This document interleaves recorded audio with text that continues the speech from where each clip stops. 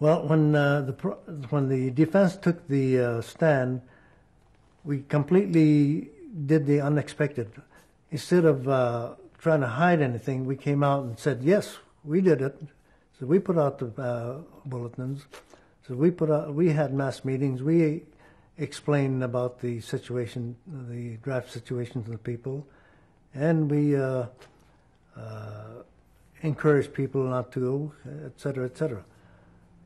Well, the prosecution was a little uh, taken taken aback because they didn't expect us to come out and admit all this, and we said that we did this because we felt that the uh, draft was, as applied to the camps, was unconstitutional. That uh, it was wasn't right. It was uh, unfair and unjust and immoral.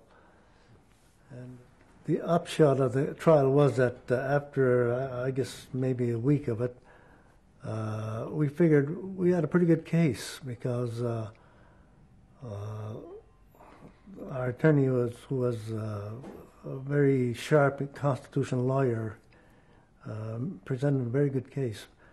But we heard that one weekend uh, this judge Eugene Rice had gone duck hunting with the district attorney who was prosecuting us. So when we heard of that, why the, our attorney said, "Well, you know, there goes there goes your case.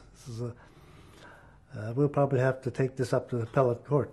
And sure enough, that's what happened. We were convicted uh, and uh, sentenced to. Uh, we were convicted of conspiracy to violate selective service, aiding and abetting and counseling others to resist the selective service law, and uh, we were uh, given a sentence of four years in a federal penitentiary, and we uh, appealed that. And the attorney had asked the judge to uh, let us out on appeal into the camps pending the, the, uh, the appellate court's decision.